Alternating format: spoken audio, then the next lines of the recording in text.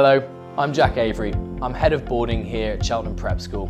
Our boarding house is named Cade House and I run the house with my wife and my three lovely children are all part of our extended family. Cade House is located in the main school building, which means we're right at the heart of the school community.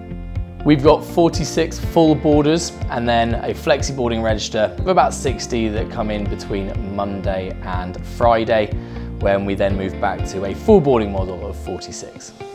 In Cade House, we have a diverse group of boarders. We have boarders who parents live internationally, we have military boarders from all over the UK, as well as homegrown boarders from here in Cheltenham itself. Aside from developing resilience and independence, prep school boarding is all about preparing children for the next step to their senior schools.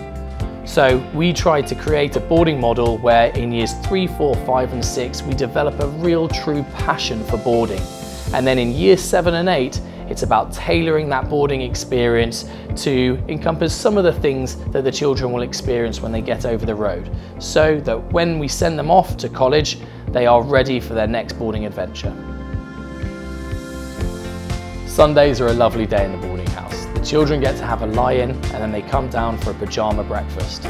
Some children will head off to local activities and sports, while others can relax in the house. We'll always have a big Sunday event, so it might be that we take the children to Go Ape or Thorpe Park, or we might take them bowling or to laser tag in town. Sometimes we visit some of the local parks and enjoy just having a run around and just having a different scenery. Then we come back we relax in-house before having a family supper where the children are in linear families with children from year 8 to year 3 and then it's a very relaxed Sunday evening making sure that we've got everything ready for the Monday and the week ahead.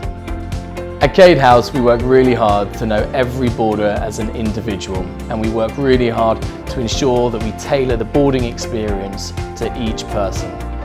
We are an extended family and that is the most important thing, that the boarders come home and are part of our Cade House family.